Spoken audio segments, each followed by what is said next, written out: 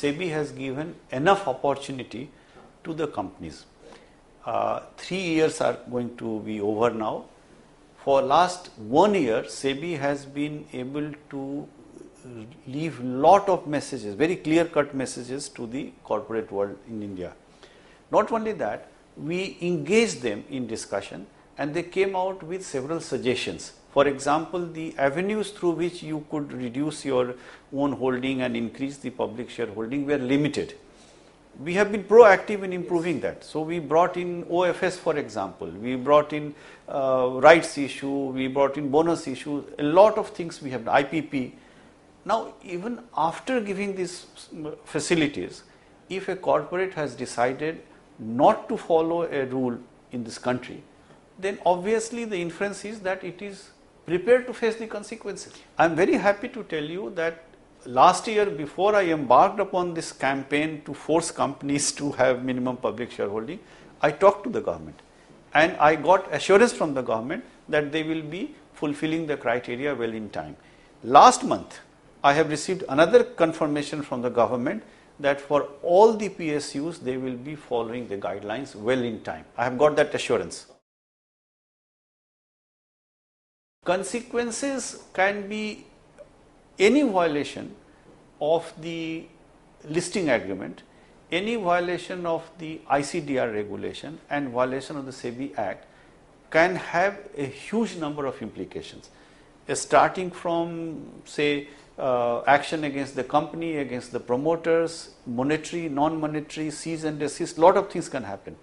But in order to give you a clear-cut picture, I would like to add that SEBI will be following two approaches or two main parameters will be in our mind. Number one, we will be conscious of the fact that the small minority shareholder of those companies doesn't suffer because it is not his fault the fault is of somebody else in the management or in the promoters in the company. So, the first thought we have is how to ensure that the minority shareholder does not suffer. The second is we will give due weightage and consideration for the efforts made by that company. If there are two companies, both were at 5 percent public shareholding in the beginning and one company has come to 20 percent, and another company has remained at 5 percent, I think justice demands that the first one should be given a different treatment. So, these will be the two parameters on which we will be deciding our action.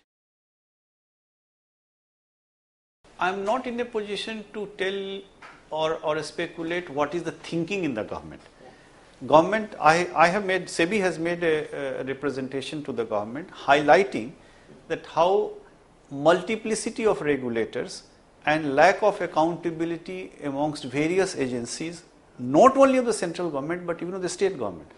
For example, in our CIS section of SEBI Act 11AA, there are exemptions like cooperatives, like nidhis, like uh, chit funds. These three are regulated by the state governments. Then uh, companies raising deposits that is regulated by Ministry of Corporate Affairs. NBFCs are under RBI. So, within the CIS section of the SEBI Act, there are several exceptions. That exception creates a situation where you do not know which agency is looking at what. And when we embark upon a CIS inquiry, we meet with lot of resistance that look, I am not a CIS, I am I am a chit funds, I am I, I am I am a cooperative. So, that makes things very difficult. So, you are right that going forward it would be a good attempt or beginning point that above a certain threshold one, one agency is given the entire responsibility. Uh, I, I have no information what is the government's thinking on that, but I hope that the government as well as the parliament come to a finding on this. three important suggestions which are mentioned there. One is that we do not have power to recover our penalties, our dues. We pass an order, the, the offender has, has a choice not to honor it. Our system of making recovery is very onerous. Cases are pending for last five years or so. I think we have about 150 crores worth of penalties which we have imposed where people have refused to pay that cannot go on. We can't be an effective regulator if that goes on. So, we have asked for powers like other regulators today, competition commission for example, we have asked that give us powers to uh, recover our dues. The second area where we have asked for support is in the area where we want uh, our right to recover, uh, uh, to, to demand documents, to produce documents, to, to enter into a premises, search and seizures, uh, um, freezing of bank accounts. Obviously, we won't be doing it in all types of cases, but there are certain situations where we need that power. So that is the second. And third is we have asked for uh, call data records, power to, to, to get access to call data records. If we have a case of insider trading, for example, or a serious case of market manipulation, for example, we have asked for those powers. So these are some of the suggestions which we have raised to the government.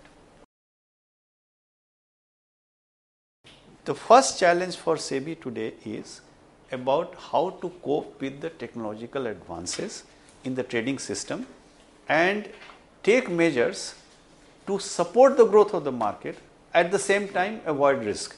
So, what should be our mechanism of risk management taking into account the need for uh, uh, existence of the technological advancement and technological advances are happening very fast.